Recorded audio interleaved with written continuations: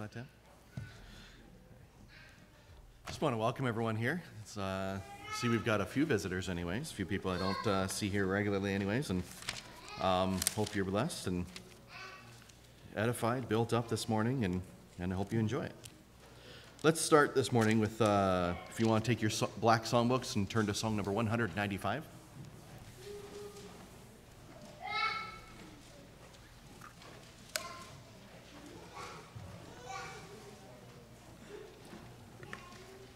I know I pick this song fairly often. Um, I, I, I just feel like it's a good song to kind of start worship with. You know, just the, the, the, the beginning of the song says, Come, thou fount of every blessing, tune my heart to sing thy grace. That's why we have a worship service. In the, that we start our, our morning service off with that so that we will begin our time here with worshiping God. And the song is just a good way to get your mind going in that way. It's a prayer asking God, tune my heart, just like, you know, if we would tune a guitar or something like that, tune it, make it sound, put it in the right place to sing thy grace. You know, it's just, uh, now I don't think we can ever properly actually sing, do justice to singing of the grace of God or, or a telling of it even, but, uh, um, but the song is a prayer asking for that. And let's sing it. Number 195.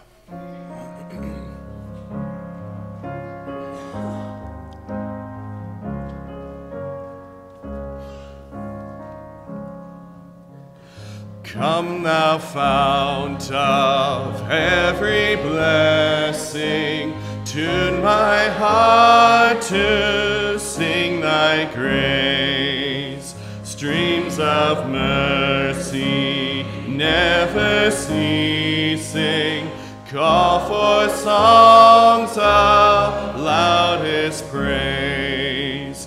Teach me some melodious sonnet sung by flaming tongues above.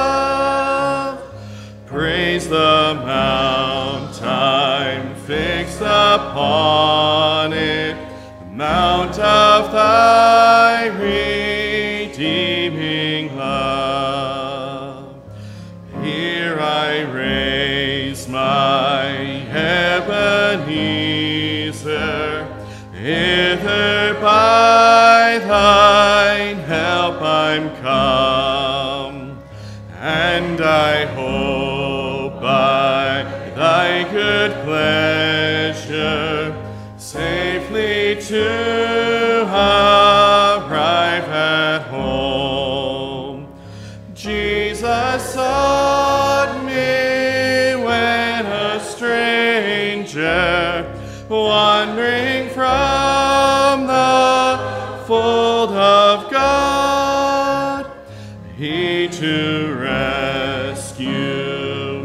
from danger interposed his precious blood.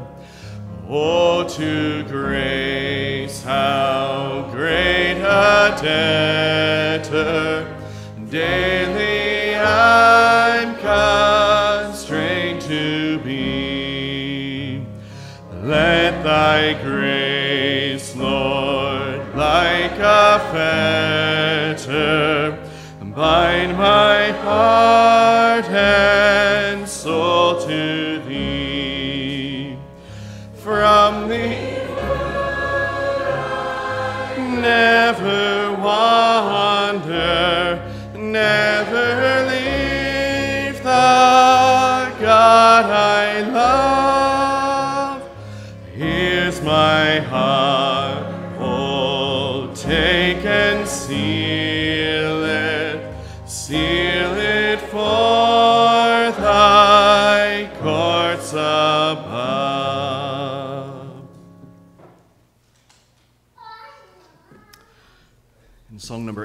112.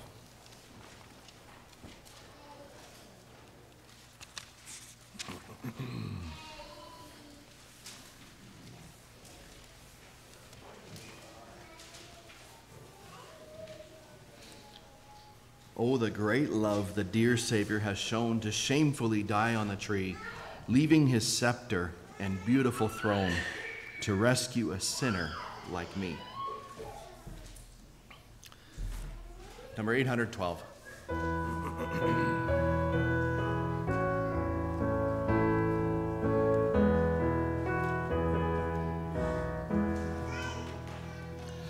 Oh, the great love the dear Savior has shown to shamefully die on the tree, scepter and beautiful throne to rescue a sinner like me. Oh, such wonderful love. Oh, such wonderful love. Savior, left scepter and throne to rescue a sinner like me. Palaces, mansions, and inns had no room for Christ who so joyfully came. Down from yon heaven our path to illume and save us from sin and from shame. Oh, such wonderful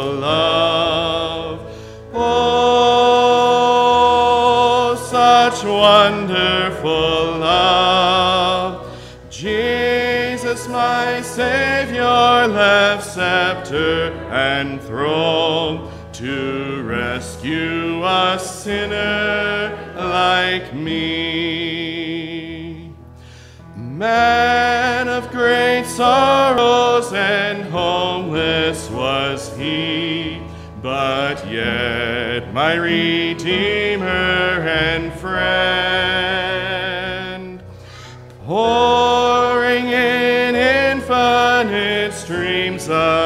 upon me, a love that can never more end. Oh, such wonderful love. Oh, such wonderful love. Jesus, my Savior, left scepter and throne to rescue a sinner like me. Number 951.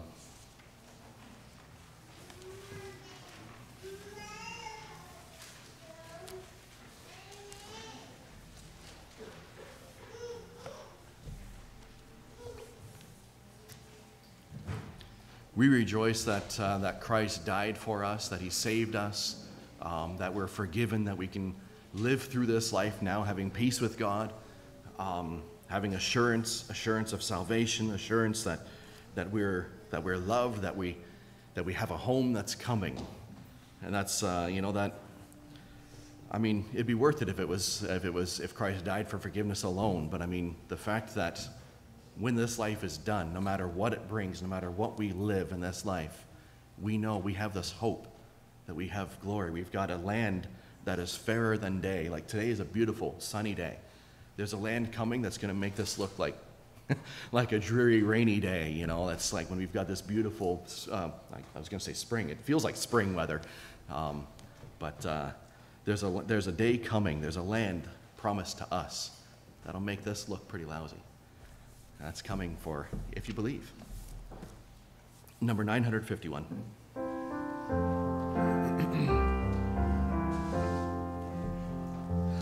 There's a land that is fairer than day, and by faith we can see it afar. For the Father waits over the a dwelling place there.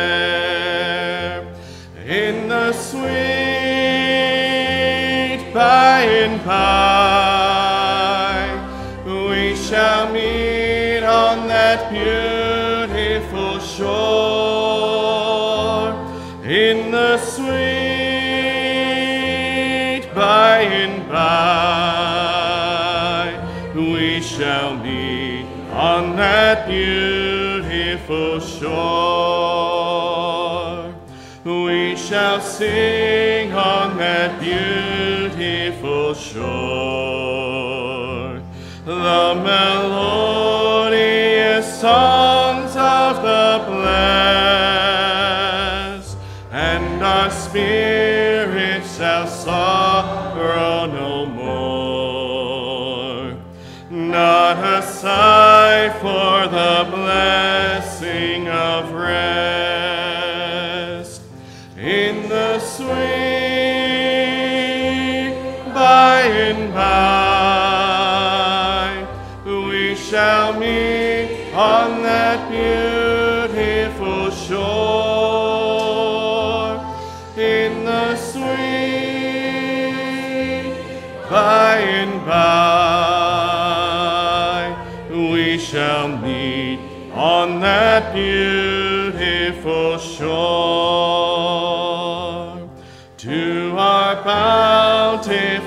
far.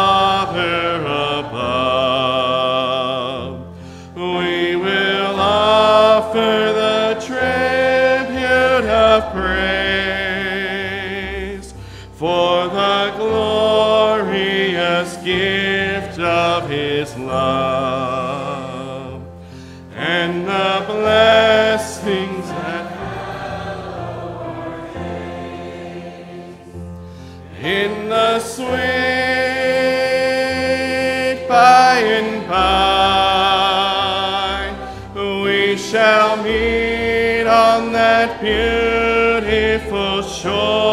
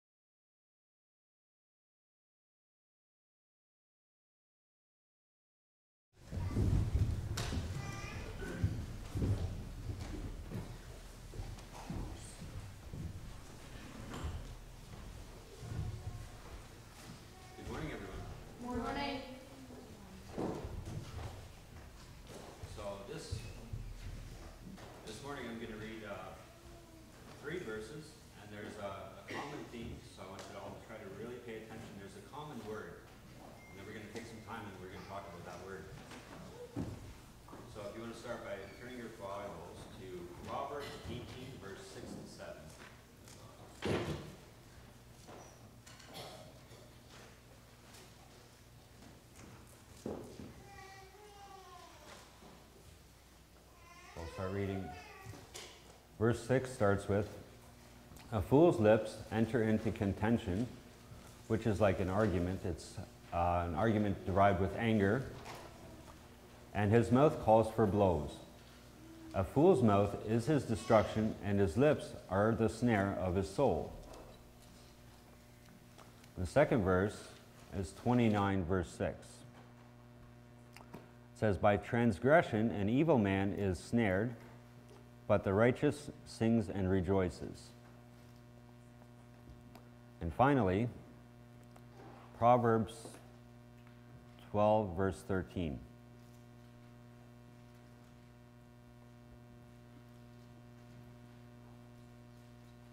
Would one of you guys want to read that one?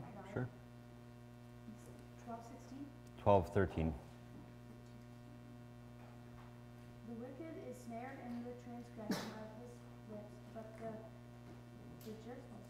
just shall come of trouble. Yes? Snared Yeah, snared. And so, does anybody know what a snare looks like? What does a snare look like? It's a trap with two metal things like this, and then uh, spikes, and then if you step in the middle. Mm -hmm. It's basically it's, it's some sort of a contraption that's made to keep you, right?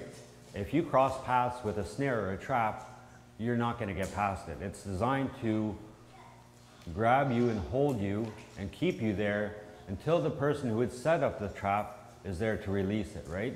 It's usually not something like, say for instance, a snare is not really something that you can get out of. And I came to, I wanted to give you guys a bit of an example. So here we have just a simple brass snare. And so set up like this. So there's the hole, and it's big enough so something can get through, right? And so I thought instead of bringing a bunny, I would just bring a leaf, right? Because it'd be easier. So who wants to try to put this through the hole? Vincent? So try to do it as carefully as you can, not to get the stick stuck in the hole.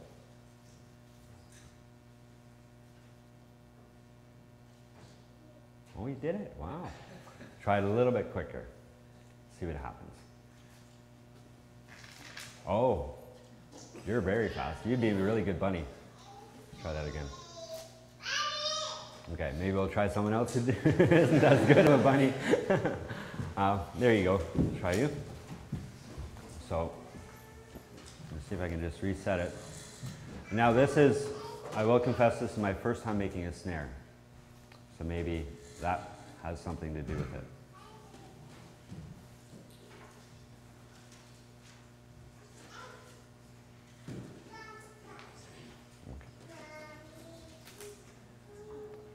And try to pull really hard to get it out. See what happens?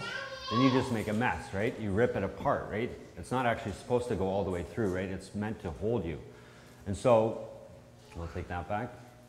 I'll take one more volunteer, one more. There you go, you can try.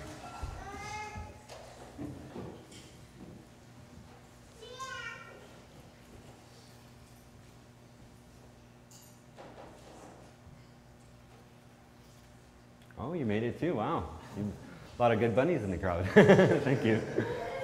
So, but the idea is that when you pull through, it catches you, and then the more you pull, the more it grabs you. And it grabs you tighter and tighter so that whoever's going through the trap is not going to be able to get out, right? The way it's supposed to be done is the person who set the trap, which then would be me, releases it, and then you can get out, right? And so now when we read these, ver- these verses and we hear that word snare, then we can get a visual in our mind of what it's like, what it's talking about. So whatever the subject is or the topic is, if, it if it's telling us that it's going to bring us into a snare, it's going to capture us, right? It's going to capture us and it's going to hold us there, right? Until this trap has released us, right? And so let's try reading these verses again with that picture in mind of what a snare is and what a snare does. So we'll start again with uh, Proverbs 18, verse 6 and 7. I'll read that one. A fool's lips enter into contention, and his mouth calls for blows. A fool's mouth is his destruction, and his lips are the snare of his soul. So now we can see what it's doing, right? So if, if, um, if we are a fool and our lips are run by a fool, right? Our lips are the snare, are the capture, are the trap for our soul. Our soul will get trapped by what we are saying, right? If we are being a fool with our lips. Who wants to read Proverbs 29, verse 6?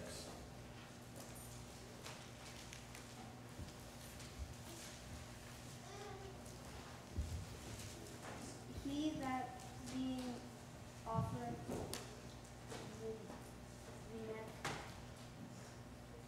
shall suddenly be destroyed, and that without rem- remedy. 29, verse 6? Oh, verse. Sorry. In the transgression of evil man there is a snare, but righteousness being sin and riches. Okay. And so that actually makes me just think of a scenario, right? So, an evil man by transgression, that's by his wrongdoing, right? It says that's how an evil man is snared. but then the opposite of that is the righteous sings and rejoices. So I can kind of picture two men walking down, the, down a path, right? And one is evil, and he's plotting all sorts of evil, and he gets caught, and he trips, and he's stuck in his evil. He can't go any further because it's evil, right? And then I see the opposite of that someone who's righteous, and they're just, you know, not a care in the world, right? They're just singing and rejoicing, right? So the evil, they get trapped by their sin, right? But the righteous, they get to sing and rejoice, right?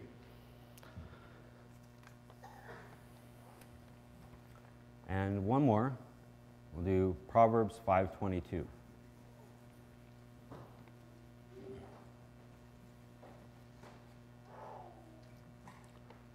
Do you want to read that one, Keegan? Five, Proverbs 522.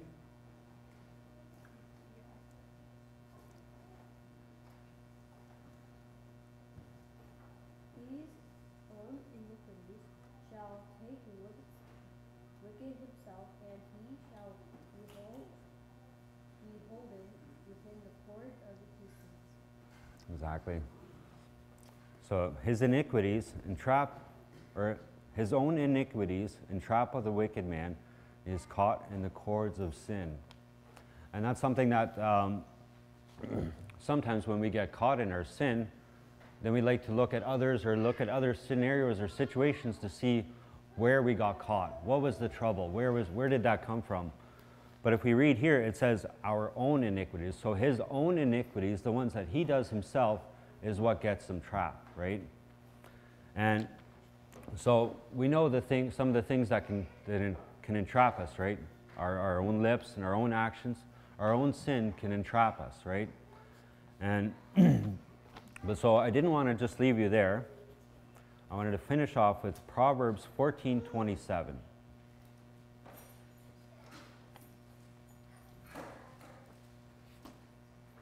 So this morning we found a lot of few different ways that we can get caught, where we can get snared, right? And so we want to know how to also avoid that. So Proverbs 14:27 says, "The fear of the Lord is a foundation of life, to turn one away from the snares of death." So that's how you turn away from the snares, right? That's how you go around them. That's how you can rejoice and sing. When you fear the Lord, you remove yourself from the path of the snares. So you don't have to be so worried and concerned about the snares, right? Because if you look, if you look back, it is always talking about a fool, right? A fool's lips will catch him. His own iniquities. Someone who's a fool is performing iniquities, right? And so the opposite of a fool is someone who is wise. And we know that the Bible also says the beginning of wisdom is the fear of the Lord, right? And so Proverbs 14:27 says it, the fear of the Lord is a fount, fountain of life to turn one away from the snares of death. So we want to avoid the snares, we fear the Lord, and he'll help us and he'll guide us. When we can't see, then he can see. And there's something else I wanted to point out about the snare. And you guys can probably see it relatively clear because you guys are pretty close. But if I was to ask anyone from the back if they would be able to see it, it'd be really hard to see it, right?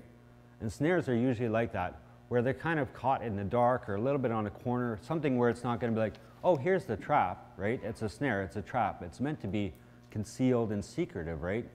And so when you fear the Lord, you don't have to so much worry about the secrets because He will direct you and He will guide you. Because the things that sometimes our own eyes can't see, the Lord sees, and the Lord will help you that way. So that's my lesson for today. Thank you so much. Stand up for some singing, please.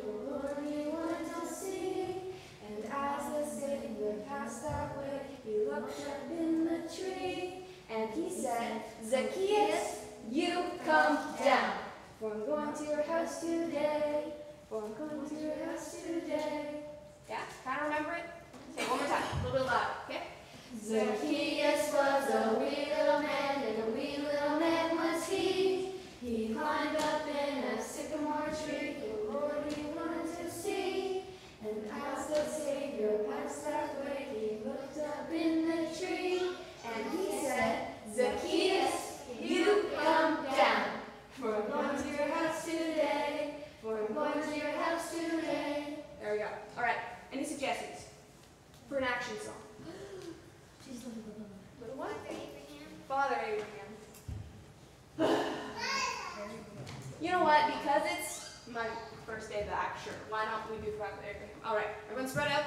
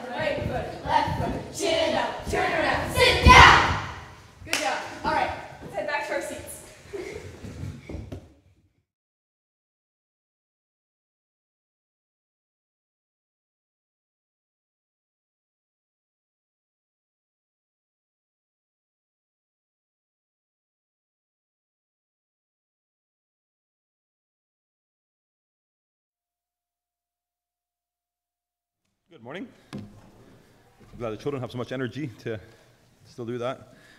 It was uh, fun to be young once, right? So appreciate the lesson too, John, just to uh, simple illustration of the snares of, of, uh, of the evil, right? And um, just the book of Proverbs, been reading it quite a bit lately. Try to read one chapter a day, just follow it through the month. And so every time you kind of pick up new stuff all the time, right? And it's always a, a good thing to do. So I'd like to welcome everyone here this morning. Thank you that you come out and see some visitors. So we appreciate you and hope you'll be blessed here today. And uh, so we'll just go over a few announcements before we get started with our main message. So we're planning our Thanksgiving dinner for October 28th. Um, we're just waiting for confirmation from um, what's the place called again? Emmanuel Christian School. We tried Lighthouse Gym, but they're all booked up the whole month of October and November, so we have to go Plan B. So hopefully that works out. So kind of keep that date open in your calendars before you book it up. Hopefully we'll have confirmation here next week, and then we can plan for it all the way. So uh, just a reminder, I put an announcement this morning too on the announcement page for the uh, Bible donations that we've been doing. Uh, Henry and Liz are going with a group to Uganda this coming Thursday, I think. And so if you would like to donate and haven't donated yet, there's a, a box in the lobby where you can put cash in, or you can donate online at uh, springfieldmissions at gmail.com.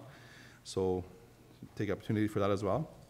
And uh, I think the youth did a lot of care packages on Friday, and a lot of stuff is getting ready to go. So thank you so much for everyone who's been invested and helped out. So it's a huge, uh, I'm sure they appreciate that very much. So um, other than that, I don't have any other announcements other than uh, the mission board will come up to do a presentation. I think Abe Ham is the spokesperson today for that. And then other than that, Henry Wiebe will come up and share a main message. So God bless you.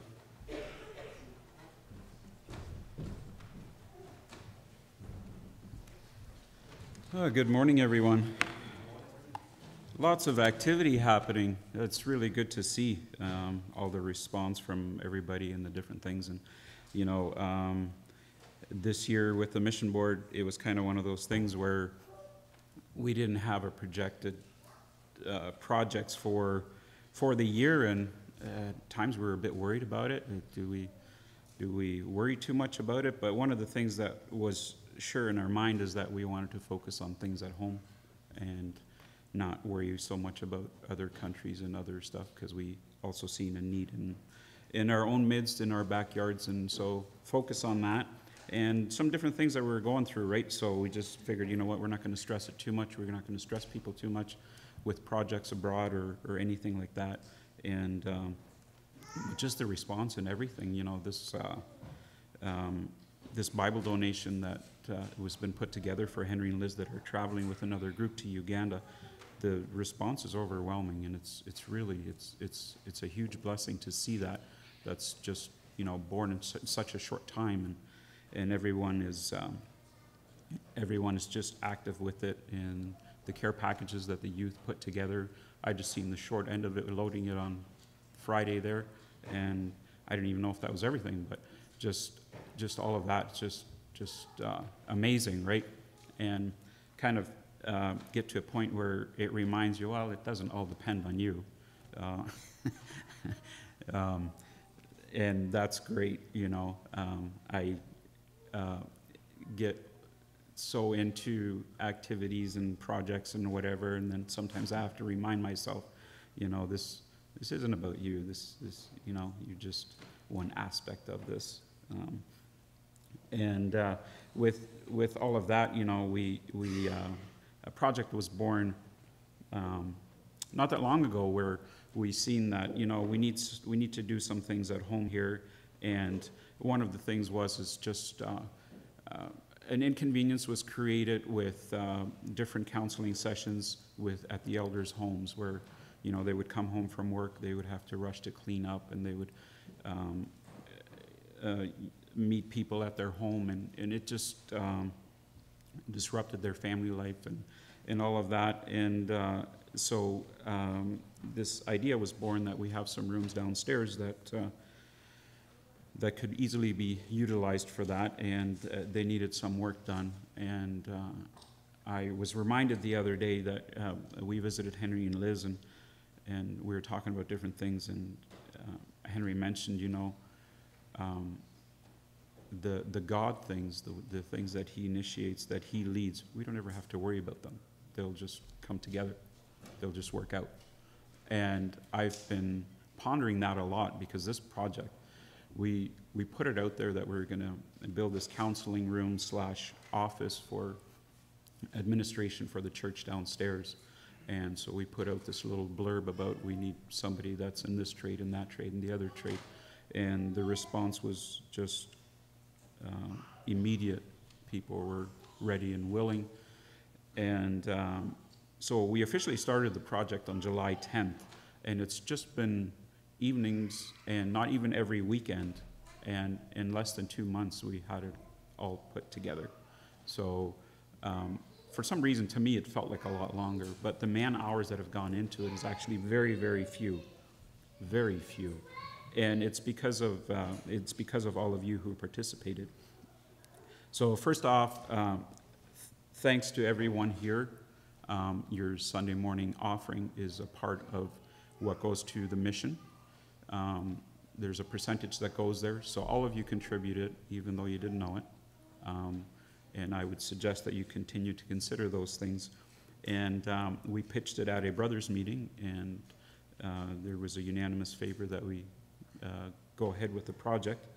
Um, and like I said, it's twofold. It's a counseling room, meeting room for the for the leadership, and it's also for uh, uh, all our record keeping for the church. We're moving that all over to this location instead of uh, some people have had certain things at their home and stored it there and, and things like that. So we're making some some improvements there. Um, and just you know, if you can picture somebody needing some advice on something and, and having a session with with the leadership that you know, um, not all conversation is uh, uh, um, appropriate for the dining room table or the living room. There needs to be some privacy. Um, there needs to be some confidence that someone isn't overhearing it, and uh, you know that the family, their family, because all of our leadership still has family at home, that doesn't get disrupted. The kids don't have to spend a couple hours downstairs somewhere out of sight, and stuff like that. That there's an option for people to meet somewhere. That is the vision. That's the goal of this, and um, yeah, um, like I said, just the response from from all of you have just been overwhelming, and the, the idea was born there, and then I contacted Marion Penner, and she started with design and floor plan, and she did a great job, and she, the artwork you see in there is hers. Um, she did that, I'm super grateful for her involvement in that, and um, again, immediate response from everybody else, right? Like John Neudorf, he's like, hey, you know, a couple of guys, I'll do the flooring, we'll get that done. And so I remember seeing John Neudorf, John Fair, Alex Dyke, Abe Dyke, Philip, and Dave Braun working on the flooring there, and got it done on a Saturday morning, I think it was, and uh, and then um, uh, there was a bit of electrical to be done, and Otto was more than willing to to do that, and um, Benji was uh, involved with coordinating painters, and he did a lot of the drywall work, the patching, and stuff like that um, Dave and Eva and the boys, they came down installing the doors and the trim. And then Alex with his brothers, they were here a different Saturday morning installing all the, uh, the cabinets and the furniture and, and super grateful for that. Um, and many different people donated things, uh, electronics and different things. So um, it was just people coming forward and saying, hey, what can I do? How can I participate? And uh, so that's something that we've, we've done locally, and we're super excited about it. Um, I was approached at one point, somebody was wondering what in the world's going on, why, why is that all being torn up downstairs? So a lot of these decisions, they, they do get, or all of these decisions, they do, do get mentioned at the brothers meeting. So uh, participate in that, come on out so that you know how, how things operate and, uh, and what's in the, what's, uh, what projects are, are being done. And that way you can participate as well, however, however um, uh, you see fit or whatever your gifts are, right? So come on out to that because that's where the decisions are made on how the giving is spent. So if you know if, if you have concern about how your giving is spent, that's usually where those decisions take place. So I would encourage you to come out. And um, uh, I've had I've had the privilege of serving on the mission board for uh, nearly five years now. And um, I've been put on another board, the church seen fit that I serve somewhere else. And so this coming meeting, um, there is going to be, uh, there's a number of nominations, and there's going to be a vote on replacing my position as chairman and also another position as well. So come on out, put your, put your voice in, um, help the whole corporation function. Uh, you are a part of it. And uh, there are some very capable candidates to fill these shoes, and I'm very grateful that they are there. And again, um, that is still open. If you'd like to nominate someone to serve on the board, on the mission board, um, please contact Willie Penner, send him a message, and nominate whoever you think would um, uh, fit that position well and serve in that position. Um, That's all. Thank you. God bless you.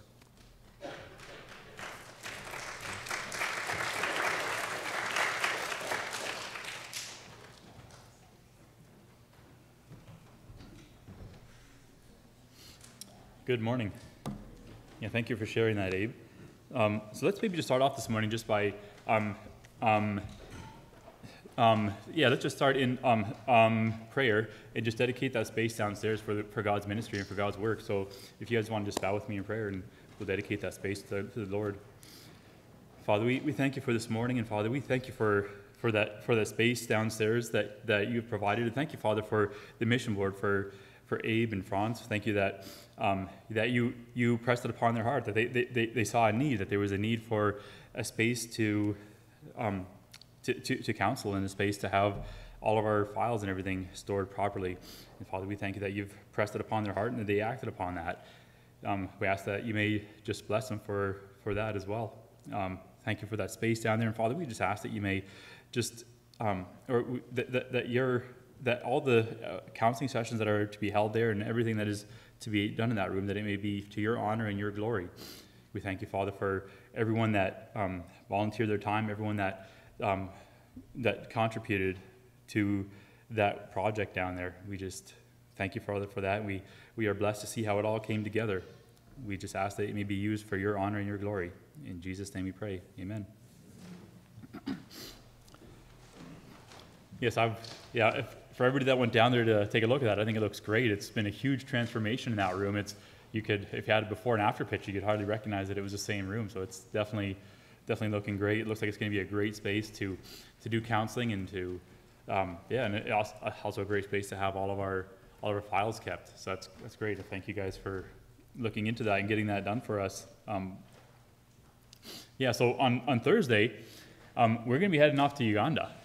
So that's going to be that's going to be exciting. We've uh, it's and, and you know what? Really, this has all come together so fast. Like at, at the beginning of the summer, um, it was Liz's cousin said, "Hey, we're, we're they're thinking about going to Uganda and just wondering if we would also be willing to come as well, along with as well." And we're like, "Well, okay, like what do we what, like what's in Uganda? What are you guys doing? Like who's coming? Can we come, can our kids come? Like how's this all working out?" And um, and then it was like a lot of this kind of planning. Like, is it going to happen? Is it not? Not sure.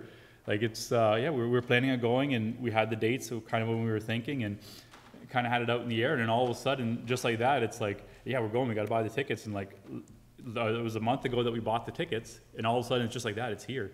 So there was like this anticip. It wasn't really. There was this. Uh, like there's something in the distant, far distant that we're gonna we're gonna go to Uganda. It's gonna be in September, and maybe we won't, maybe we will. I don't know. There's a lot of things up in the air. Like, um, are we going to be able to travel then, or not? I don't know. Like, in, the there's the whole visa thing. Like, I'm not sure. I, I've heard visa processes take a long time, right? And so far, we hadn't even talked about visa applications. We knew that yeah, you need to have a visa to go to Uganda, but none of that had been talked about. So I was like, yeah, you know what? Maybe we, I don't. I, I had my doubts that we are going to go in September. Honestly, I did. I thought, you know what? Yeah, we have these uh, these plans, but like I don't even know what's going on with the visas. Like I'm not sure. Like Richard Gazuli, he was taking care of all that, and I was like, all right, we'll uh, we'll, uh, we'll we'll plan for it and kind of have our mindset that you know that's when we're planning on going. But I, was anticipating delays, honestly. Quite honestly, I was thinking that. But um, you want when when when um, God is in it, things can come together real real fast. And just the way that everything came together, like Richard went um, after we, we, we bought our tickets, actually, we bought our tickets a month ago, and then the, a couple days later, Richard went to the embassy, to the um, Ugandan embassy to go get our, our visas. so I was like, all right, we'll see. We got our tickets. Let's just uh, let's just hope that because we know I, I know somebody else that's trying to get a um, um, um, on, on visa to go to Switzerland or no somewhere Sweden maybe, and there it's going to be a two or three month process just to get this visa, right? So I was like, I'm not sure what kind of visa, what what the process is. And yeah, Richard's going to the embassy to get this visa. And I'm like, all right, we'll see when it comes. He's like, yeah, we got the visas. We're all good to go. It's like, "Hey, what? What? Like, like, you went there? And he's like, yeah, it took like a minute. He says, yeah, the lady at the counter says, yeah, because I know you, you know what? I'm going to, like, less than a minute. Here you go. Here's your visas. We're just like, oh, wow. well then, well, well, okay. We're going. We're definitely going. We got the tickets. We got the visas. We're on our way. Um, and then the way that these Bibles came together, man, we've been so blessed with everybody's generosity. Like, because yeah, we were thinking like we wanted to get bring these Bibles across, right? Like Richard was saying, he, he hates preaching the Word of God and not being able to leave a Bible with them because these people they, they can't just go and buy ten Bibles and decide never to use them, right? To them, if, if they have a Bible, it's like you know, that's something that's that's a rare commodity. So we wanted to bring these Bibles along. We're like, yeah, we want to bring these Bibles, and um, the Bibles we wanted to bring along, we tried searching everywhere for them, and it seemed like we just weren't going to get them in time. They're just, you know, we, we, we had ordered these Bibles, and it turns out, yeah, they were going to be backordered. everywhere. They were backordered, and we couldn't just couldn't quite get a hold of them. And all of a sudden, this found this place that had them, and they were in stock, and we could have them shipped a couple days later. So we ordered the Bibles, had them shipped, and it's like, yeah, everything is just just falling in place, just just in time. God is God is rarely early, but never late. But He's always on time. God is always on time. And so um, Richard, he was planning on going to on, on, Fridays when he was planning on going and dropping off these Bibles because yeah, we got so much stuff that we, we were going to take it all in suitcases. We, we, figured we've got 17 people going means we can have 34 suitcases, 50 pounds each. We can bring a lot of weight over. All of a sudden, we start collecting all the stuff, and we're like, oh my, we, we this is not going to fit in 34 suitcases. So Richard's gonna, so Richard, he, he's going to ship the Bibles down there beforehand. Um, and then, yeah, so the Bibles, they just real, they, they, just arrived at the shipping depot in the United States. We couldn't ship them to Canada. I go to the shipping depot um, Friday morning. I, I, head over to the shipping depot, and they were going to be open at 9 o'clock. So I'm like, wait, I'm going to make plans. I'm going to try to be at 9, 9.30 at the latest, try to get there because I want to try to get back and get these Bibles to Richard. Well, you know what? On the way, on the way to pick up these Bibles, I'm praying for God's blessing upon the border. Just saying, you know, like, give me a safe ride there, safe ride back. Just ask for His blessing as we pick up the border, go across the border, and pick everything up. And just like that, I feel like the Holy Spirit just saying, "Hey, you forgot your passport." Like, oh man, I forgot my passport. I need a passport to cross the border. I got to go home. I, it's like wasting all this time. I was hoping to be there, and it's like, like I'm not going to get there in the time I thought. You know, I'll get there like 10:30 at the earliest. It's like things just aren't working out. Well, I get to the depot, go inside. I'm um, I'm already way behind schedule. What I thought get, get to the depot, I'll go in, like, yeah, here's your package. Like, hold on, a like, there's supposed to be 25 boxes. Like, oh, this is all we got. We got one box. I'm like, oh, man. Like, what's going on? So I go inside, I'm gonna, gonna make this phone call to the, to the place, like, hey, like, where's the rest of my Bibles? Like, what's going on? Like, I, I came all the way to destroy, or to Port Huron to pick up these Bibles, and they're just, we, uh, we don't have all the Bibles here. We got one box. We are supposed to be 25 boxes. And just then, I'm dialing the number, 1 800, and the guy comes out. Hey, they just showed up. Like, we, we just, like, give us like 15 minutes. We got to put them into the, just process the order and everything up. But yeah, they just showed up. I'm like, wow. Had I not, had I been early, I would have been headed back with one box of Bibles. but because I forgot my passport, I was there just in time. And I was thinking, like, wow, it's just, just the way everything has worked out. It's just like, man, you know what? This is definitely definitely been God's hand in it, right? And you wouldn't. Now, I've said this before, and I'll say it again. You know, sometimes we, we look at situations like this, and we're like, well, just coincidence, right? Like anybody forget their passport. Like anybody. Like, I say no. You know what? Like, I, I, do you see God? You recognize God's hand in your work. Do you recognize God hand, God's hand in your life, where things that you could just chalk up as uh, just just being coincidence, just you know, just the way it kind of kind of worked out, or you recognize that you don't know God's hand. Like if, if you're in the will of God, God is going to orchestrate things to help it work out, right? God's not willing that any should perish, but all should come to the to the knowledge of the truth. So when you're working to help people come to the knowledge of the truth, God's hand will be there. So I've just been super blessed, and yeah, we're just super excited to head over to Uganda. We're going to be we're going to be going to some prisons. Um, so the ladies are going to be going and sharing the gospel at some um, um, ladies' prisons. We're going to be sharing the gospel at some men's prisons. The, the children won't be able to go, but they're going to be um, sharing the gospel at some of these schools and hospitals. So it's going to be it's going to be a great time. So we'll, we'll be spending two weeks there. So we're leaving on, on Thursday and then coming back two weeks later, and it's going to be yeah. I'm, I'm definitely excited. I've seen. Um, throughout this past few months, they've been um, sharing with us some of their ministry, some of the things that they've been doing out in Uganda, um, some of the revival meetings they've been having, and some of, sometimes there's like thousands of people that show up, like just thousands of people that come up, show up to hear the word of God. Um, so yeah, it's. Uh, I'm hoping that when we come back, we can bring a report to you guys and kind of show you um, how everything went, and hoping to inspire more people to think about how can we minister, how can we share the word of God. You know, we, um, Jesus says that when, when he left, he said. Jesus says that, that, that, that, that we are to share the gospel first at home, then to your neighboring countries, and then take the, take the word of God to every corner of the world. That's the purpose of the church, to share the gospel, right? That's why God didn't just rapture us out the moment you're saved, because we are left here to share the gospel with the world. So that's, anyways, my introduction this morning. This is, uh, yeah, some exciting stuff going on later on this week. Other than that, I'm, I'm going to be continuing on in in First Peter. So I'm I've been preaching through First Peter, and now I'm up to chapter five. This is the last chapter in First Peter. So I'm going to try to get through this, and we have communion today as well. So that's another exciting thing. We have, you know, the fellowship of the fellowship of the saints, of, of, of the saints, and part of that is taking part in communion, recognizing why are we here? Well, we're here because of Jesus, because of the shed blood of Jesus. So we take part in communion to remember that. It's, it's not about us. It's not about getting together to be in this little, little group. It's about, it's about serving Jesus, right? So chapter 5, in, in, in chapter 5, he's, Peter is addressing the elders. And as I was kind of preparing for this, and as I was reading this, I'm thinking like, man, you know what, like really, there should be somebody else coming up to preach this. There should be, we should have a guest speaker to come and say, hey, you know, let's, let's exhort the elders because he's addressing the elders here. So now I'm going to tell you what Peter is saying to me. And some of you others. Like, there's not, elders is, it, it also, so elders is, um, it's people that are older.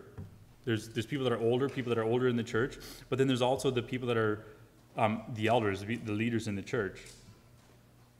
So here in chapter chapter 5, verse 1, he says, The elders who are among you I exhort. So the word exhort, it means to strongly encourage or to urge someone to do something. So he's giving us a, a, a strong urge, a strong encourage, like, come on, guys, let's do this. Let's, like, let's get busy about the kingdom business. Like, what, what is your purpose? What are you doing here? Are you guys just out to get together to have a little, have a little group? Or are you out here to preach the gospel and to see people walking in truth, to see people walking in holiness? Are you here to encourage the flock to, to do, to, to, to follow as Christ, um, as, as, as Christ leads? So he says, to the, to the elders who are among you, I exhort, I, who am a fellow elder and a witness of the sufferings of Christ, and also a partaker of the glory that will be revealed. So Peter he's not just saying that, hey, this is what I want you guys to do. He says, no, this is what I'm doing. I am also a fellow elder. Peter is a fellow elder. He's also a partaker of the sufferings of Christ. He was a witness of the sufferings of Christ. He saw Jesus being crucified. So he's telling us what he has seen and heard and, and experienced. He's saying, in a way, as, as Paul says in 1 Corinthians chapter 11, verse 1, he says, imitate me as I also imitate Christ. So he's strongly urging the, the leaders in the, in the church, the elders, that in the same way that he is serving Christ, be an imitator of him. He also shares with what, what we are experiencing. So, what does he exhort us to? He says, Shepherd the flock of God which is among you. So, be a leader, be a shepherd. In, in the same way that a shepherd of, of, a, of, of a flock of sheep, he cares for the sheep. He makes sure that the sheep are not going in an area where they're not supposed to go. He makes sure he leads them to green pastures, leads them to water. So it says, shepherd the flock of God. Take care of the congregation. Take care of the people that are entrusted to you. Shepherd the flock of God which is among you, serving as overseers, not by compulsion, but willingly, not for dishonest gain, but eagerly. So he's telling him, like, you need to shepherd the flock of God among you. Remember that you are overseers. Okay, don't, don't do it by compulsion. Don't do it that, you know what, okay, I, I have to do this. I feel like I do it. But no, get that out of your mind. I, okay, I, I feel like I have to just do this, but do it willingly. Change your whole mentality, the whole attitude, and do it willingly. I'm telling you, this is something that really has spoken to me in the last little while. Where, uh, like, it was I think it was I don't know exactly, but I think it was like almost 10 years ago that I was voted in to be one of the elders of the church. And honestly, this is something that has definitely spoken to me where it's like, I, I feel like, okay, you know, I was voted in, I, I need to do this because this is, it was more by compulsion. And honestly, this is something that has spoken to me where I, I can't be, where I feel like I have to do it because it's just how it turns out. But I have to do this willingly. I have to step into that role willingly.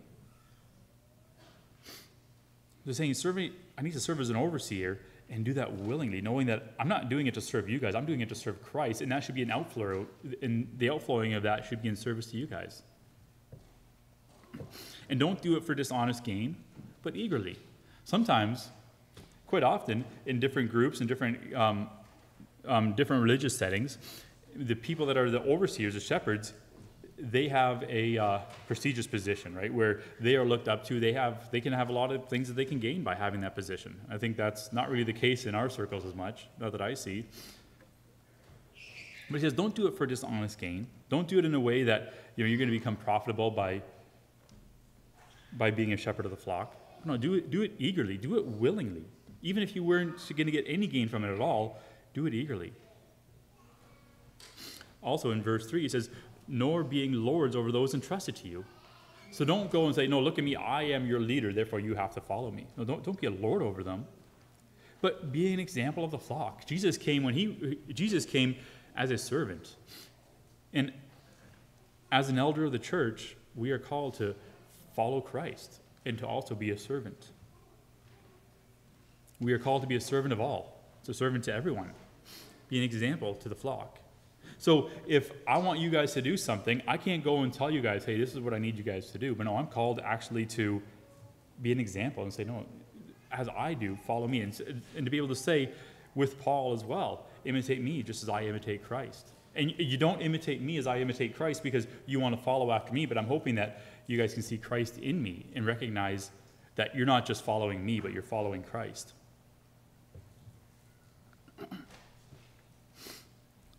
And when the chief shepherd appears, you will receive a crown of glory that does not fade away. You know what? This throughout the throughout the um, um, letter that Peter wrote, throughout this epistle, he tells us many times that you know what, there's going to be times of suffering. There's going to be difficulties. There's going to be things that are going to come up that are not going to be comfortable. But remember why you're doing it. When the chief shepherd appears, when Christ appears, we're going to receive a crown of glory that does not fade away.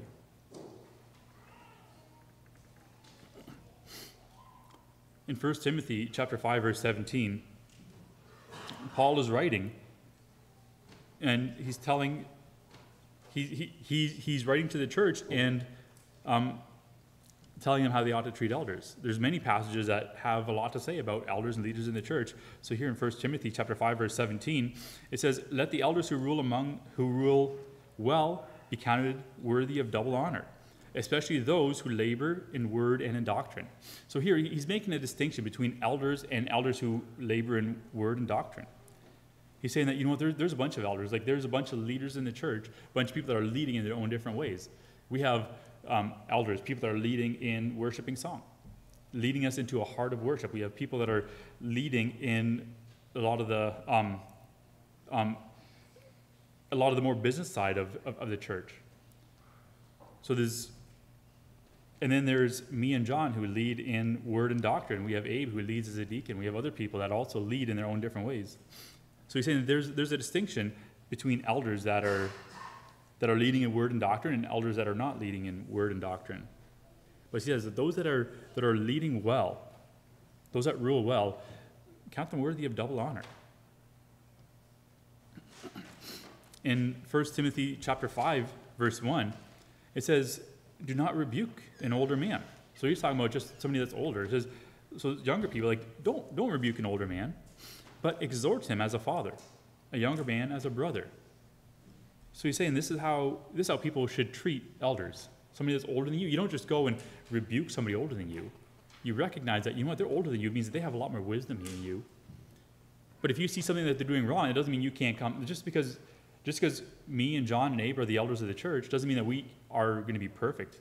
But no, if you see us doing something wrong, you guys are called to exhort us as a father, or exhort us as somebody that you recognize we are still in the flesh, we are still human, and we are prone to error. And we have to be willing and to, to, to receive correction from even somebody that's younger than us. and then in uh, verse 19, in 1 Timothy chapter 5, it says, Do not receive an accusation against an, against an elder except by two or three witnesses. So he says, like, if somebody has something against an elder, he, he may do something wrong, but there has to be two or three witnesses. You can't just say somebody is going to slander an elder because he doesn't like something that he does, right? There has to be two or three witnesses. If there's two or three people that say, you know what, this is not, I, this, he's doing something that's not correct, that's not right, then you can take that before, before the elders. Or then you can take that before the congregation and have that accusation against an elder. but you know, early on in the church, the disciples, as uh, the um, yeah, the, the, disciples as they went out preaching the gospel, um, they came back afterwards and they appointed elders in every church. They appointed people that were going to be leading in the church. In Titus chapter one, verses starting at verse five, um, Paul writes here. He says, "For this reason I left you in Crete, that you should set in order the things that are lacking." And appoint elders in every city as I commanded you. So here he's saying Titus that he, he left him in Crete, so he should appoint elders in every in every city. Have those people that are going to be shepherding the flock, those people that are going to be overseeing the rest of the congregation, who spend time in in prayer and spend time in like everything that they're doing should be directed towards how is the church flourishing? How are we serving Christ? Are we going after the ways of the world? Or are we becoming more conformed into the image of Christ? That's something that elders have on their mind all the time. You know what? Quite often, when um, you guys might be binge watching something on Netflix, elder of the church that is serving well is not going to have time to do that. We're not going to have time to spend all this time on, with, with certain hobbies. But the more time we spend with certain hobbies, the more we are going to be lacking in serving in the, in the church.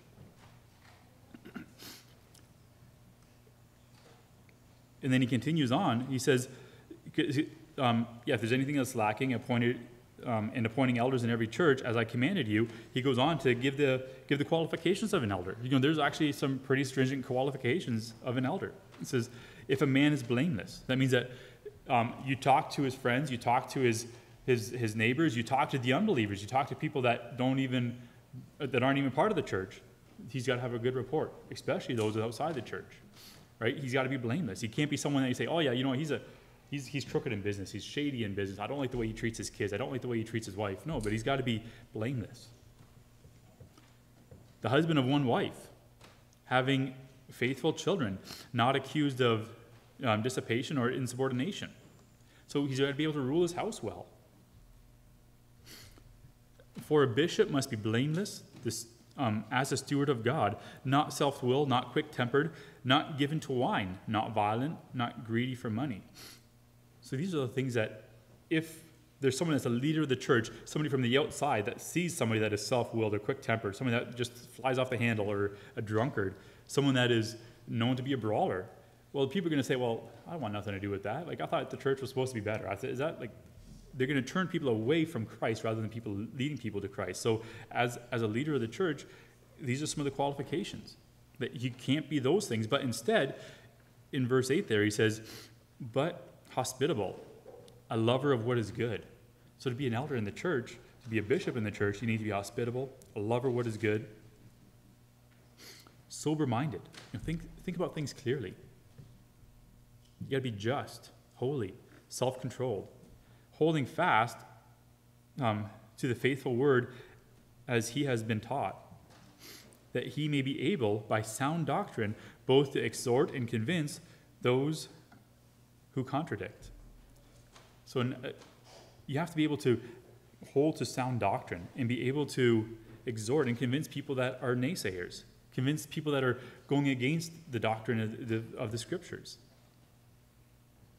He says, For there are many insubordinate, both idle talkers and deceivers, especially those of the circumcision. There's going to be a lot of people, and, and when, he t- when he's talking about for those of, of the circumcision, in today's age, for us, it's not talking about we have to worry about the Jews. We do. We do have to worry about people, but it's also people that are religious, right? It's worry about the people that are going to tell you that, no, you need to become more and more religious and start keeping the laws in order to become right with God. That's not the gospel. Okay, the gospel is not that you need to start doing all these things and then God is going to accept you. The gospel is that Jesus died for your sins. And the outflowing of that is going to be your life is going to be conformed to the image of Christ.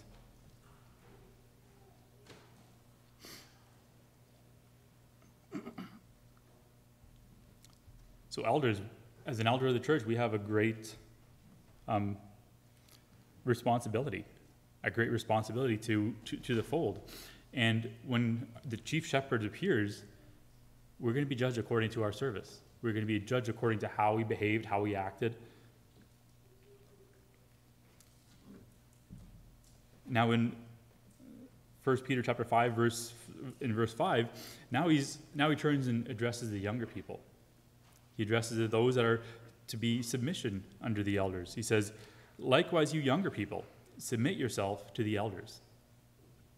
Yes, all of you be submissive to one another. So he's saying, young people, submit to your elders, but all of you, everybody, submit to one another because you know, there's going to be times where an elder may need to submit to a younger person if he's in the wrong. Like that's not, he's not saying that that's not going to be the case at times, but he's saying like younger people, be submissive, submit yourselves to the elders, and be clothed with humility. For God resists the proud, but gives grace to the humble. Therefore, humble yourself under the mighty hand of God that he may exalt you in due time. Now, this respect for older people in general is something that is lacking in our culture. Like, I remember when I was just, just a young kid, when I was, I don't know, I might have been 10 or 11 years old, and I remember my teacher saying that, you know what, kids used to have respect for, the, for, their, for, their, for older people. They used to have respect for teachers. And this was 20, 27 years ago, 28 years ago. This was like when I was young. And I look at right now, I'm thinking like, man, I remember when kids used to have respect. And my, like they, older people thought my generation was disrespectful. And you know what? Like there is, in our culture, there is less and less respect continually. Now, from where we come from, the Mennonite culture, we actually have a different term when you want to talk to somebody that in, a, in a um, re, respectful way. So you children that don't know German, um, when you're talking, when, when, when, we're talking to our, to our parents or to anybody that's older than us, we call them ye. We don't call them du, because du is you. Ye is a respectful way of saying you, right? It, it's kind of like having, it's, it's kind of like pluralizing the word, right? It's, we, we would say um, ye, it'd be kind of like you all, but it's not, we're only talking to one person. So it's like, it's like you use a plural form. And now I remember quite often where I would call somebody ye like an older person, I was like 20 or 20 years or more older than me, and then saying like, oh no no no, don't don't call me that. Like I don't want to be old. Like, so I remember people saying like they don't want that term of respect. Now I remember my uncle told my actually my father-in-law telling me one instance where um, he called somebody du, and that person was like, don't you think you ought to be calling me Ye? And he's like, okay. How old are you, by the way? And it turned out that my father-in-law was actually 10 years older than him.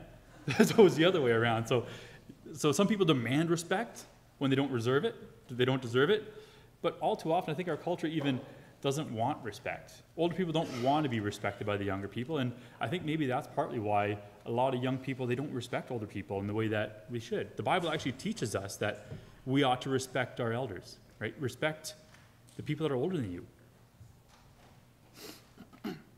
In Leviticus chapter 19, verse 32, it says, You shall rise you shall rise before the gray headed and honor the presence of an old man. And fear your God, I am the Lord. So your God tells us, you know, you, you should actually be respectful to people that have gray hair. People that are older than you, like that, that should be, the gold, gray hair should be a badge of honor. It's not something that you want to try to get rid of your gray hair. No, but gray hair is a badge of honor. I, man, I wish I could go, go gray. Like I always look at Frank, and he's he's my age. He's got gray hair. I'm like, man, I'm, I'm gonna lose my hair before it goes gray. I want gray hair. I think I'm getting a little bit of gray in my beard, but so yes, gray hair is, is, is a badge of honor. We shouldn't look at that as something to to try to look younger. No, you know what?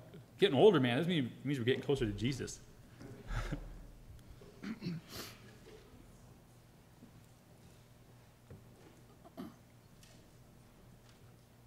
so yes, and, and he he does say there in that yes, you all be submissive to one another. So he's not saying that yeah, because you're older now, people should just respect you and you should do whatever you want. No, he says be submissive to one another. So we have to also give room to know that you know there's going to come times where a younger person may respectfully um, um, have something to say against somebody that's older, you know, in a respectful way.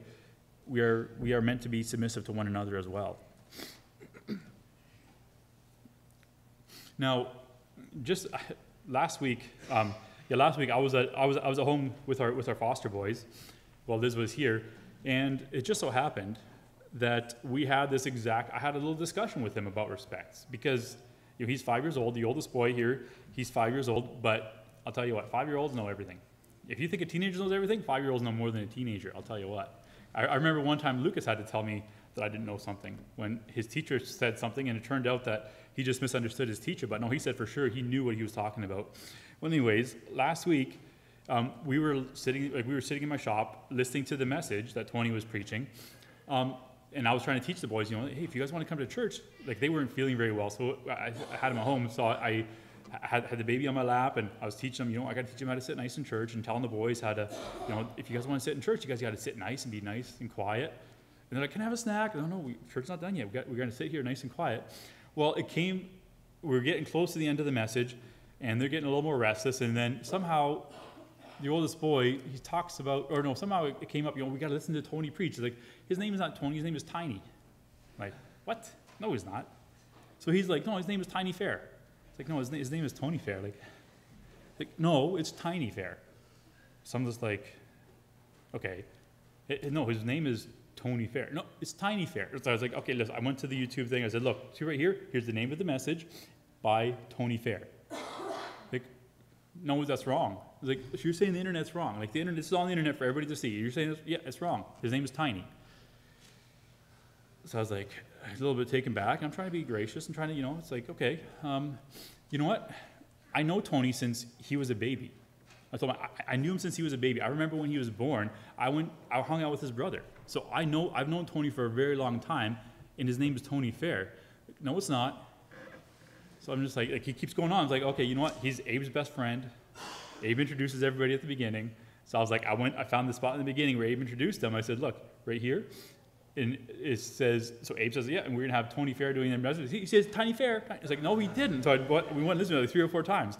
And then finally, I could see it in his eyes, like he knew he was wrong. So I asked him, so what's his name? Tiny Fehr. Now he was just gonna, he was not gonna back down. He, he knew, that's his, that's his name. So then I was like, all right. So I told Vincent was with me watching the kids. I told him, you take the other two boys aside. They wanted a snack. We'll take him a snack. I got a little. I got to have a word with this boy here.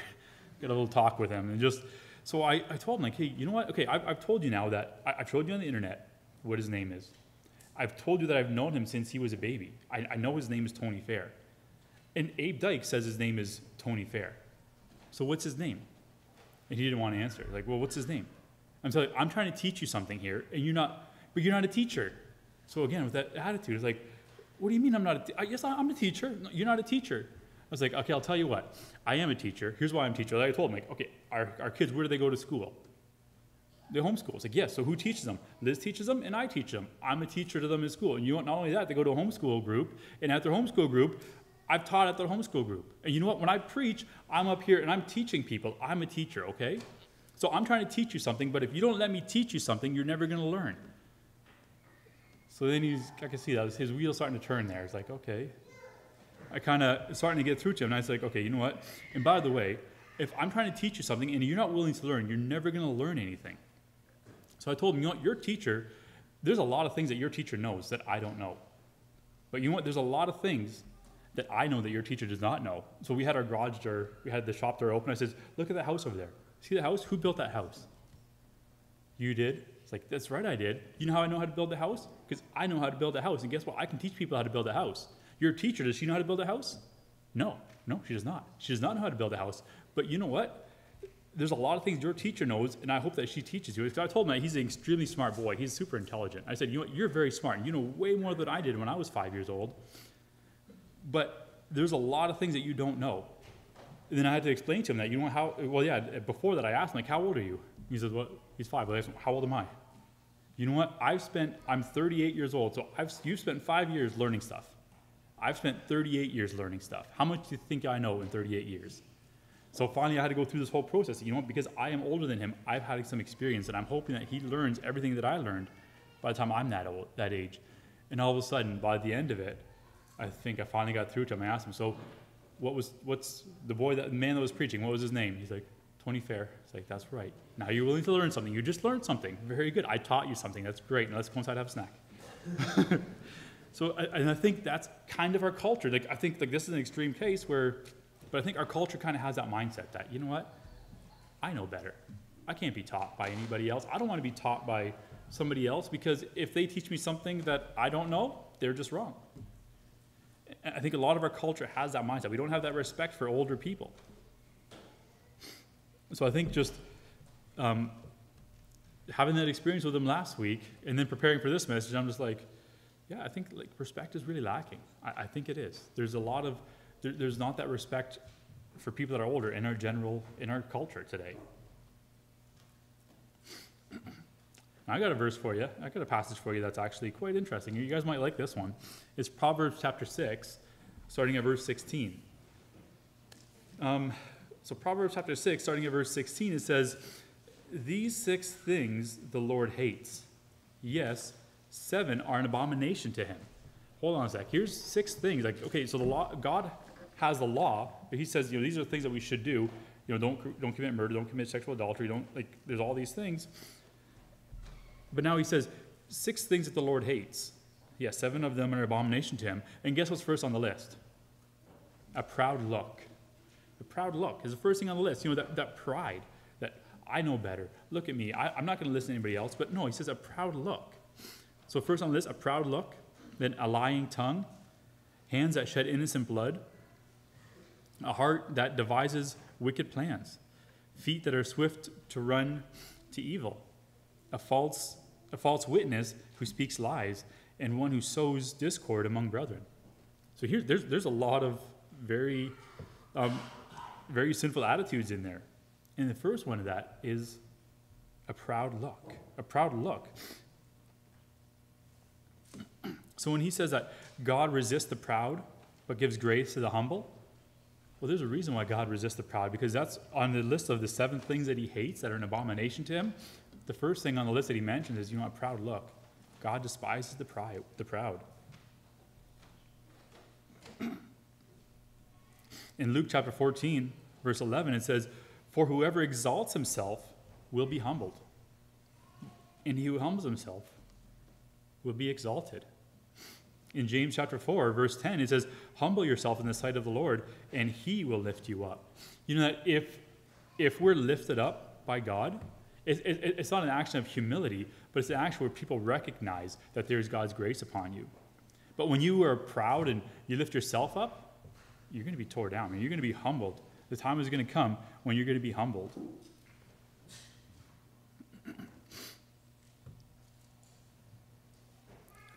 So, moving on to verse 7, he says, Cast your, cast your cares upon him, for he cares for you. So, saying, like, in our life, we need to cast all of our cares upon Jesus, cast all of our cares upon God, because God cares for us. Philippians chapter 4, verses 6 and 7, it says, Be anxious for nothing, but in everything by prayer and supplication with thanksgiving, let your requests be made known to God. In the peace of God, which surpasses all understanding, will guard your hearts and minds through Christ Jesus. Do you guys recognize that God cares for you? When, when you're anxious about something, when you have something that's like, you know, that's just, I'm not, not sure where to go with this, do you recognize that God cares about that? God cares for you. He says, don't be anxious for that. Don't, don't let that control your life and don't get a lack of sleep because of that. But no, cast your care upon Him by prayer and supplication. Let your, let your request be made known to God. And you know what? When you do that, you know what's going to happen? If, if you can't sleep because there's just so much turmoil, so much anxiety there, if you can't sleep, when you cast your cares upon God, you know what happens? The peace of God guards your hearts and minds through Christ Jesus. And the peace of God, which surpasses all understanding, you won't be able to explain it. It's just like, I couldn't sleep, I prayed, I slept like a rock. Because you know that God cares for you, so you cast your cares upon Him.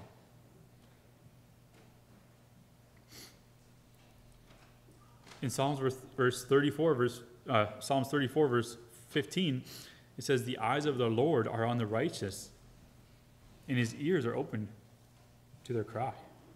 You know, God is listening to you. He wants you to come to him because he cares for you.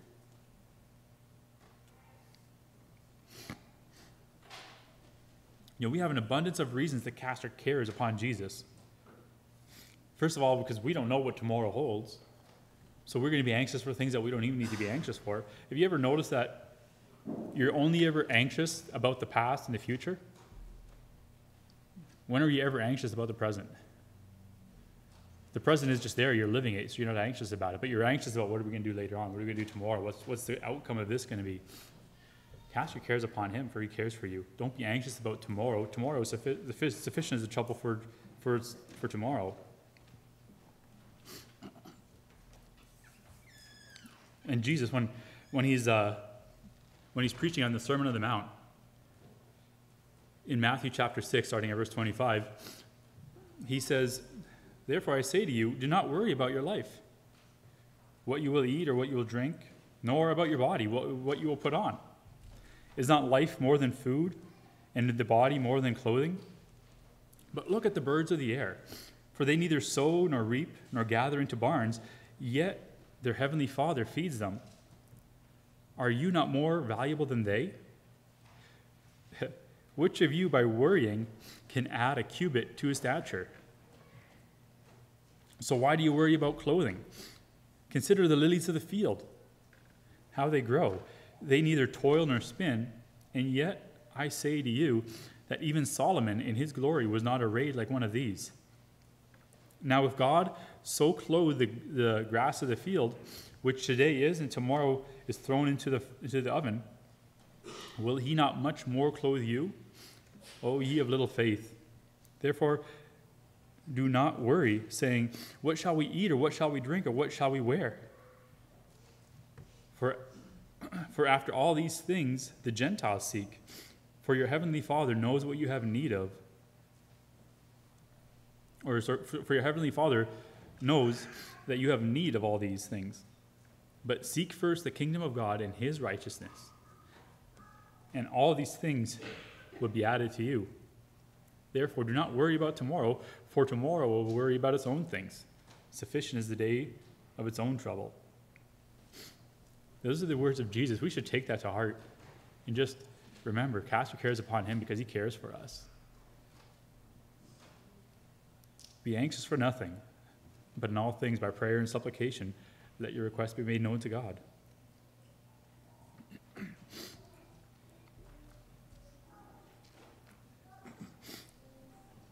So in verse 8 there of 1 Peter chapter 5, he says, Be sober, be vigilant, because your adversary the devil walks about like a roaring lion, seeking whom he may devour. Resist him, steadfast in the faith, knowing that the same sufferings are experienced by their brotherhood in the world. So what do we do? We, we, we rest upon God, but we also we need to be sober. We need to think soberly about what are we doing here? Like what like what kind of what kind of things do I approve of? What kind of movies do I watch? What kind of music do I listen to? How am I conducting my life? What kind of clothes do I wear? Like all these things we need to be sober, be vigilant. Because we have to recognize that this world, like we're not just in this world just kind of going by and whatever it happens, happens. It's like whatever decisions you make, it doesn't really have, have any kind of effect. But know that in every, at every turn, our adversary, the devil, is there like a roaring lion. He's seeking to devour, he's seeking to destroy your faith. But no, that's why Peter says in chapter 1, says, Therefore, gird up your loins of your mind, be sober, and rest your, fully, rest your hope fully upon the grace that will be brought to you at the revelation of Jesus Christ. But no, we need to be in, or we need to be watchful in our prayers, is what Peter says in chapter 4, verse 7. But no, we need to be watchful in our prayer. We need to think things seriously. We know that the end of all things is at hand. We can't just be going through this life just acting as though things don't matter. It doesn't matter what I do, what I wear. It doesn't matter the, the music I listen to. It doesn't really affect my mind. It's like, yeah, right, it doesn't. The music you affect your mind, the, the, music you listen to affects your mind. The, the TV shows you watch affect your mind. The friends you hang out with, they, they, they affect your attitude. They affect your behavior. They affect your way of life, your, your way that you see things.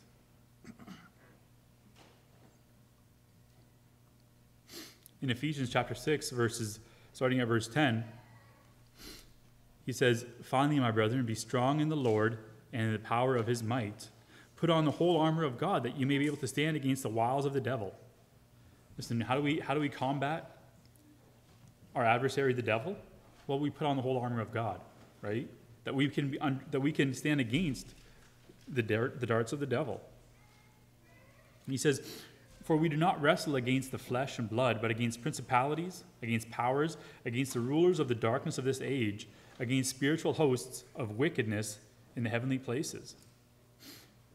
You know, we, have, we are in the midst of a spiritual battle, and I think far too often we're just sitting on the sidelines. The battle is happening, the battle is raging. Okay, you know what? The battle is going to happen whether you're in it or not. But the more people, the more Christians are just sitting on the sidelines, the more we're allowing the world to be corrupted by the evil one. If we think that our life doesn't matter, the things we do, the things we watch, the, people, the friends we listen to, those kinds of things don't matter, is the, is the Word of God paramount in your life? Is the words of the Scripture, is that the one thing that you hold to more dearly than anything else? Or is it whichever artist you happen to like at that moment? It's like, yeah, I love the songs of, I'm not sure, you pick your artist. That's the one, I know all the lyrics, but I don't know any Bible verses. It's like, what, what rules your life?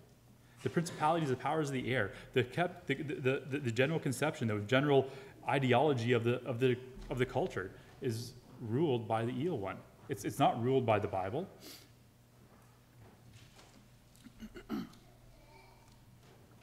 But no, we combat that by putting on the whole armor of God. So, starting at verse 13 in Ephesians chapter 6, he, he, he goes through the armor of God. Well, what is it? Therefore, take up the whole armor of God that you may be able to withstand um, on the evil day, having all to stand, to stand, therefore, having girded your waist with the belt of truth, yeah, put on the breastplate of righteousness. We have the belt of truth. We have the breastplate of righteousness. Having shod your feet with the preparation of the gospel of peace. Above all, take the shield of faith with which you may be able to quench the fiery darts of the evil one, the helmet of salvation, and the sword of the Spirit, which is the word of God. Praying always with all prayer and supplications in the Spirit, being watchful to this end with all um, perseverance and supplication for all the saints. so we need to be rooted and grounded in the truth of the gospel. And we do that with the whole armor of God.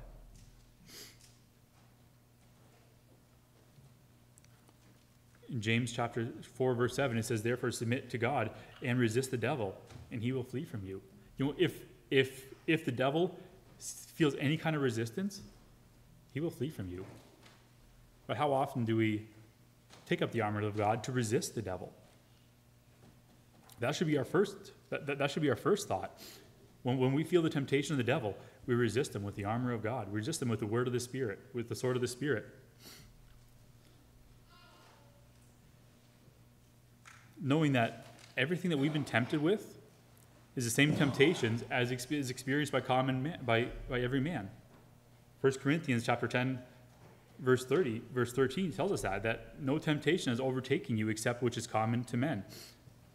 But God is faithful, who will not allow you to be tempted beyond what you are able. But with temptation will also make a way of escape that you may be able to bear it. So when you're tempted in any way, we need to hold fast to that scripture, knowing that you know what God has made a way of escape for every temptation that has that, that, that, comes in our way. And knowing that every temptation that comes our way is the same temptation that comes in everybody's way. it's the same temptation as is common to all men.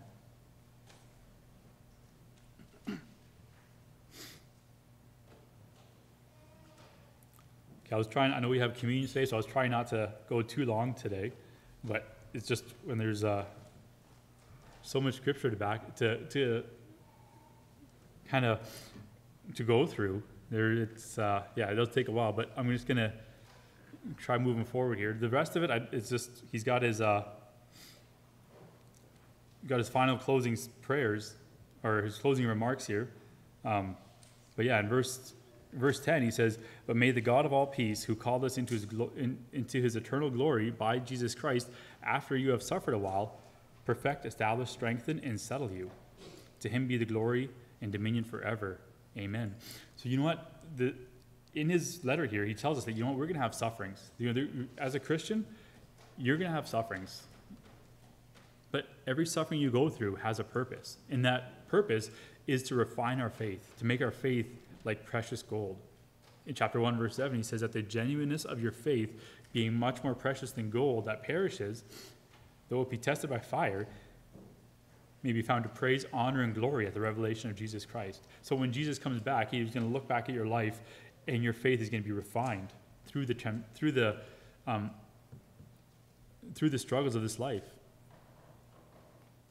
through the sufferings of this life, so that those sufferings may perfect us, that they may establish us in the truth of God's word, that they may strengthen us, that when the next time those temptations come, the next time those trials come, that we're strengthened, we can overcome them more gracefully. We can fully lean. We don't sometimes try to toil and try to figure our own way through it, but immediately we lean upon the grace of God. And at the end of our life, we are fully settled, where the devil doesn't even try to tempt us anymore because he knows it's hopeless. Because we're fully established in the truth of the gospel, fully leaning upon the grace of God. He says, By Silvanus, our faithful brother, as I consider him, I have written to you briefly, exhorting and testifying that this is the true grace of God in which you stand. She who is in Babylon, elect together with you, greets you, as is Mark, my son. Greet one another with the kiss of love. Peace to you, um, peace to you all who are in Christ Jesus. Amen. So he closes here just with his final statement saying that Silvanus, the same, and I, I believe it's the same one that um, um, Paul, the same Silvanus that Paul oftentimes wrote his letters to, or had his letters delivered by as well. He's saying that that's who's going to bring him the letter. So this letter was written to exhort us and to encourage us to walk in the truth, to, to let us know that, you know what, we are, we are going to be facing trials and temptations. But to stand strong in those ti- trials and temptations.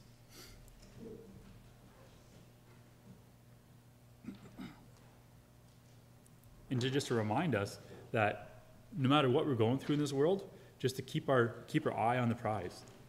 Keep our eyes on the prize. Remember that the end of our, the end of our suffering is, will be at the revelation of Jesus Christ.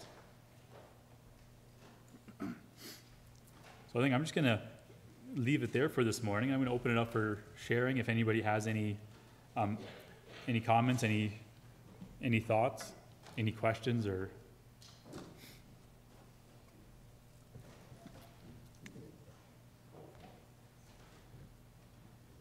Yeah, if nobody has any questions, I think what we'll do is we'll um, um, we'll have the singing for communion. So we'll have our we have our communion, and um, usually what we do is like if, if there's any visitors here, we, we welcome you. If if, if um, um, um, you're a you're a born again believer, we welcome you to come and take part in communion with us. Communion is is not just for the Church of Springfield, but when we have communion, it's for all believers. So if there's a believer that is here, if if if you're relying upon the grace of Jesus, if you're trusting in the blood of Jesus for your salvation, that's what communion is for, knowing that Jesus suffered for our sins. When we drink the when we drink the wine, we recognize that Jesus poured out his wa- his blood on our behalf. That that should have been us that took that penalty that he took on the cross. And that when we took that, take that bread, that that we, we are reminded of his body that was broken for us. So yeah, that's why we take take part in communion. And um, so yeah, we'll we'll have. Um, we'll have we'll have Dave just just sing, and as he sings, we'll take part in communion, and then after after the singing is done, then um, we're just going to have a dedication prayer for us to go to Uganda, just so that because we want that trip to be for the glory and honor of God. We want to have, we want to um, go and serve Him. So we just want to dedicate that time to Him in prayer as well. But let's maybe um, before we start singing, let's just uh, bow, our, bow our heads for a word of prayer. Father, we thank you for, for the gathering of the saints. We thank you, Father, for everyone here this morning. We thank you, Father, for the cup of communion. Thank you that, that your body was broken on our behalf, that you took that punishment that, that we deserved, that you became sin. Even though you had never sinned, you became the sin so that we could become the righteousness of God. We could become the righteousness of Christ. We thank you, Father, for the free gift of salvation. And as we take part in communion, may we just recognize that you are our God, that you loved us. You loved us so much that you came to bear the penalty of sin. That you loved the world so much that you came to, to redeem us to yourself. And you've also given us that, that hope, that promise of an eternal home. You've told us that you've, you've gone to prepare a place for us. And Father, we are fully resting on that hope. We ask, Father, that your, we ask, Father, for your blessing upon this morning. We ask for your blessing as we leave here this evening, this morning as well. And this we pray in Jesus' name. Amen.